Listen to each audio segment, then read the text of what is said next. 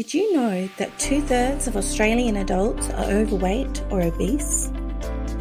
That's the equivalent of 12.5 million people. Lack of education surrounding food is one of the main causes, along with the convenience of buying foods that are high in sugar and salt. Eating too much salt can lead to high blood pressure and heart disease, along with many other health problems. Heart salt has 56% less sodium than regular salt, contains no MSG, and still has that great salt taste.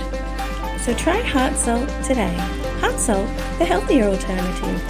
Visit www.heartsalt.com.au to find out more.